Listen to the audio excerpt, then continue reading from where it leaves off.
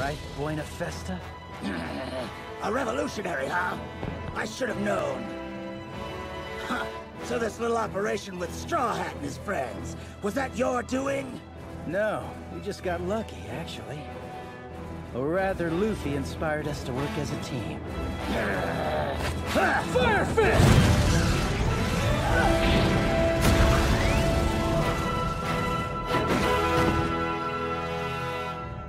So that's Straw Hat's power. Inspiring his friends and enemies too. Then he makes the impossible possible. He could bring a new era. A man like that could become king of the pirates. A pity. I guess I bet on the wrong guy, didn't I? I wouldn't beat yourself up. It's not like he would team up with you anyway. Yeah,